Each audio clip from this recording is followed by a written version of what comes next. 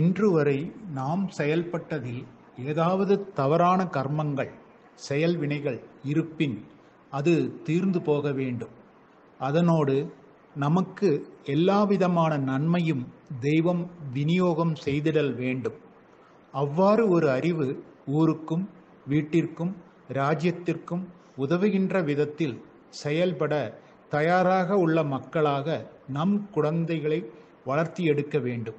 இதுதான் ஒரு இல்லற தர்மம்.